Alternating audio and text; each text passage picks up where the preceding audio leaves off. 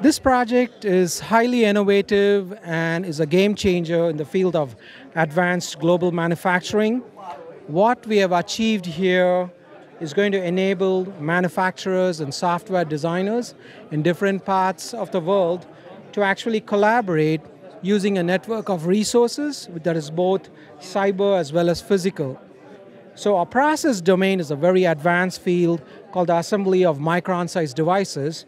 And what we have demonstrated is with the help of GENI, you can actually interact and collaborate with different resources and the primary benefit of using GENI is, is we can exchange high definition visualization data, and it also makes it a lot faster and more efficient rather than the current internet.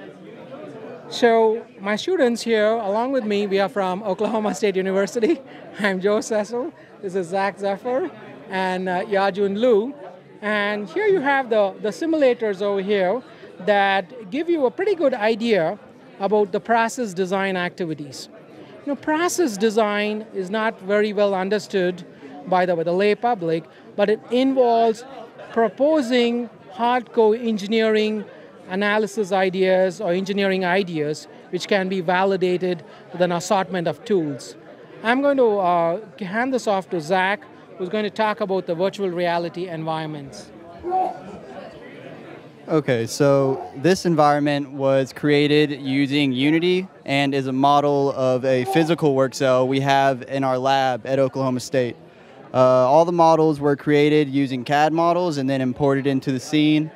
Um, the benefit of the simulation is first, it's cheaper uh, than just going, jumping into the manufacturing, and also it um, allows us to uh, predict any problems that could come up and using GENI, uh, multiple users can actually put parts together and collaborate to come with the best part design.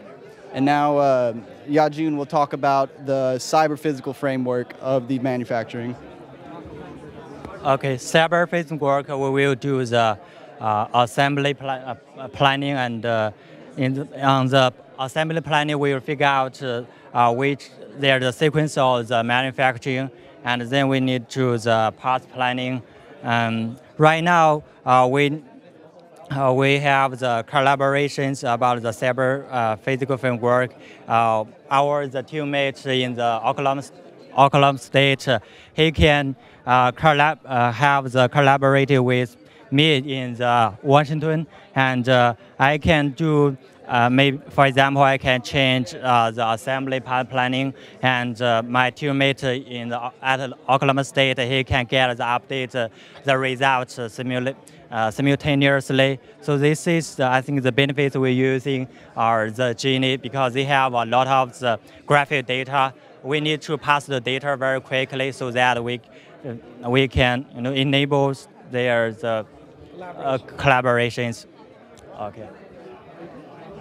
sans